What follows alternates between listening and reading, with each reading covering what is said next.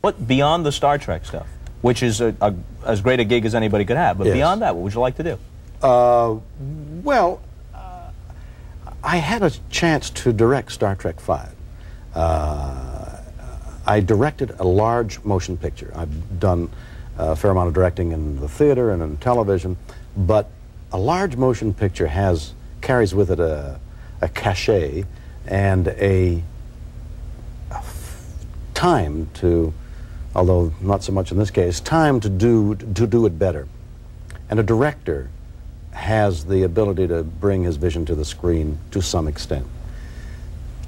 I would like to do that more. Uh, I discovered what I knew all along, I guess, that I wanted to direct films, uh, lifelong ambition buried somewhere, uh, hoping against hope and not allowing myself to dare even think that it would be possible. As a result of this gig, uh, it's possible. And the television show 911, which isn't a series, but you've shot three or four shot of them, right? uh, three. Um, it's on CBS uh, called uh, Rescue 911, and it's actual calls into those uh, paramedics and police and, and firemen who answer the call to 911. It's really an, uh, it's an exciting show because it's camera verite. I mean, you're there, you're hearing the call, you're hearing the people asking for help, and your camera's following it. Uh, in some cases, the actual uh, the actual event, and in some cases, a reenactment by the people themselves. But you're hearing the actual call. But the value of the of the show, beyond the fact that it's staggering to look at, is why you should call 911 and why sh- you should avail yourself of that number. It's uh, an interesting show. What's the uh, most fantastic bit of heroism that you've encountered in researching that show and the stories that you decided to follow? I guess the most, the one that leaps to my mind was a uh, flood in Texas, a raging river. Uh, the camera was actually there. The cameraman was there. There was nobody else to help. So the cameraman himself, in a helicopter, got onto a cable, was lowered down as these kids were clinging to the trees, and the force of the water. You know, you sometimes think, well, I mean, if you just floated and swam and got to the shore, it doesn't Yeah. seem that bad. But you could see the water raging by the by the by the tree and the, the, and wetting the feet of people clinging to.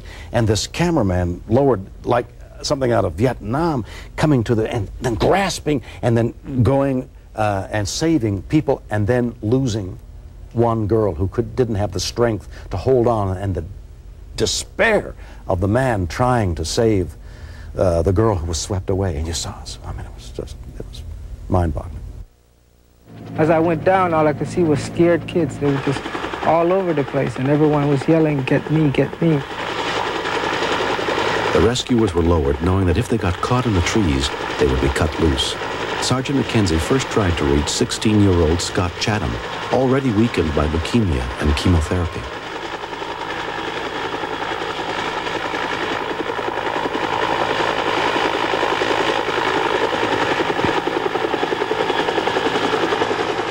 and a different experience for an actor because even if you play a role that's based on a true to life character, and even if you get deeply into it and have to experience those emotions, it's not as it's happening.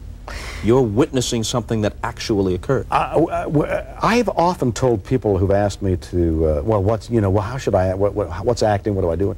I say, watch a watch a child, the ingenuousness of a child, and there are instances on these shows where you see people who are entirely themselves. There's no nothing between you and the and the person. There's just that person, and they do things in real life that no actor could possibly imagine or do. I mean, the calls, the colors in the calls, the col- the emotional colors in the calls. Uh, a child calling and saying "Help me," and then getting irritated at the person trying to help because they didn't understand. I mean, the choices would be so phenomenal that you, you, you couldn't you couldn't write it that way. They would- they they wouldn't accept it. People wouldn't accept it. We'll be back.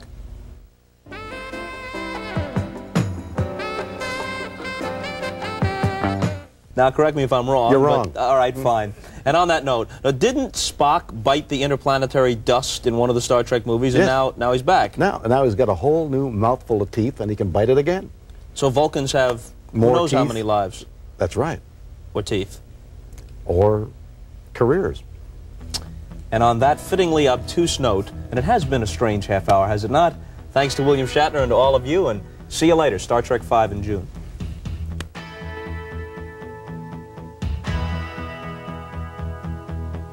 Join us tomorrow night for a ride across town with former taxi driver Marilu Henner. Accommodations furnished by the Sheraton Universal Hotel, the official hotel of Universal Studios. On your next visit to Hollywood, visit Sheraton Universal Hotel, the home of the stars.